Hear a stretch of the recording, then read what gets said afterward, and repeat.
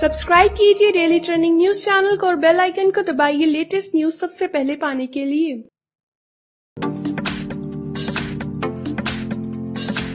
Big boss 11 में सलमान खान ने weekend का वार में जुबैर खान का नाम लिए बगैर उन्हें करारा जवाब दिया। उन्होंने जुबैर से जुड़ी कॉन्ट्रोवर्स को निपटाने की कोशिश की, लेकिन उसमें भी चुटकी लेने से बाज नहीं आए। सलमान खान ने शनिवार को शो शुरू होते ही कहा कि पिछले हफ़्ते मैंने कुत्ता शब्द का इस्तेमाल किया था। इसलिए मैं दुनिया के सभी कुत्तों से माफ़ी माँगता हूँ। मैंने इस शब्द का इस्तेमाल किया। उन्होंने कहा कि कुत्ते तो बहुत वफादार होते हैं। वो जिसका भी साथ देते हैं तो पूरी तरह साथ देते हैं।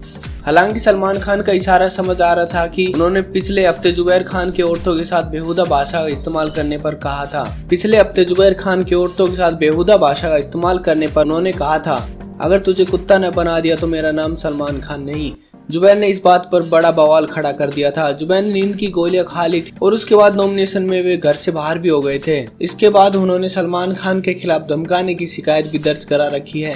सलमान खान ने डायरेक्टली तो कुछ नहीं कहा, लेकिन घुमा फिरा कर जुबैर के मामले का ज़िक्र किया। उन्होंने कहा कि वे दिल से माफ़ी मांगते हैं। चलिए, सलमान खान ने घुमा के ही सही बात को निपटा दिया और माफ़ी भी मांग ली। डेली ट्रेंडिंग न्यूज़ की रिपोर्ट। सब्सक्राइब कीजिए भारत के सबसे तेज़ी से बढ़ते न्यूज़ चैनल को ऐसे ही लेटेस्ट और इंटरेस्टिंग न्यूज़ के लिए।